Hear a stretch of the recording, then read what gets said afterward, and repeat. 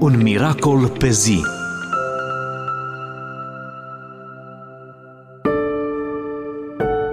Cum să ierți ce nu poți să uiți? Nu apela la plăcere ca să uiți ce te doare cu adevărat.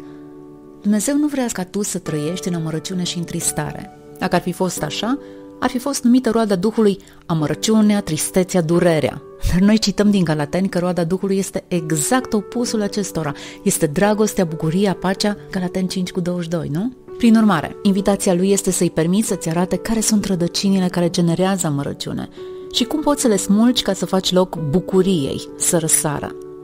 Amărăciunea provine dintr-o rană provocată de cineva care ți-a greșit, te-a rănit, ți-a spus cuvinte care atârnă greu în sufletul tău, ți-a trădat încrederea, te-a mințit, te-a nedreptățit. Există o voce lăuntrică în tine care strigă tare și cere să se facă dreptate. Ei bine, nu aceasta este calea spre vindecare. Unul din cele mai frecvente lucruri pe care le faci atunci când te doare este să apelezi la ceva ce te face să uiți de durerea ta.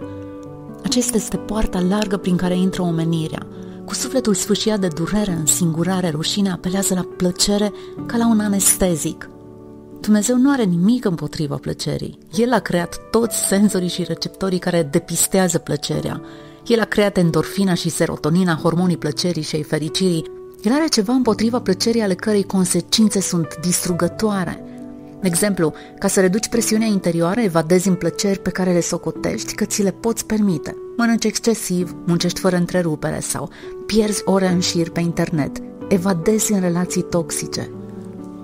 Problema care generează durere nu dispare atunci când apelezi la încă o porție de plăcere, ci atunci când ai curajul să recunoști că ai o problemă și să cauți ajutor.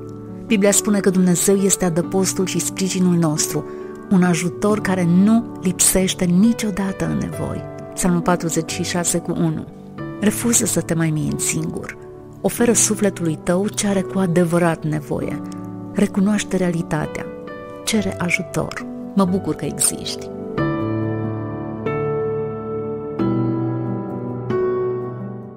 Ieși din cotidian, deschide ochii și vezi minunile din viața ta. Un miracol pe zi.